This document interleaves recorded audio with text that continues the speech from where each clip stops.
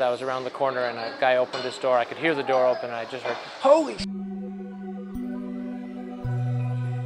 At Willow Garage, we were looking for how do we take a general purpose robot and get it out in the world and do things. When we started Savioke, we said, you know what, there's a lot of applications we've discovered that don't require any arms, and there's enough of an interest, we can get the cost really low. Hotels have a, a really nice combination of size and structure. You know, hallways are a certain width, um, and it's much more easy to deal with than, say, a home.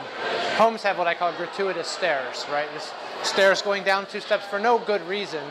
It's just annoying for a robot. Most hotels are not like the Grand Budapest, right? And that's actually great for robots. I say the fundamental things about this technology, what this robot does, don't hit anybody, don't hit anything, don't get lost, and move gracefully. Right? That's the fundamental navigation stuff. And then carry whatever you're supposed to carry securely in a locked bin. That's, that's, that's the crux of it.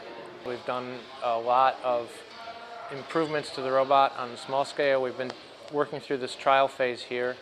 We've done over 100 kilometers of driving to rooms. We've done over 1,000 deliveries. I think that um, the biggest thing is, is still carts, right? So you run into a cart in the hallway, um, and how are you going to get around it? We spent a long time with the navigation software making it so that the robot can squeeze through narrow areas. We're the first company to, to have robots um, go in elevators with people.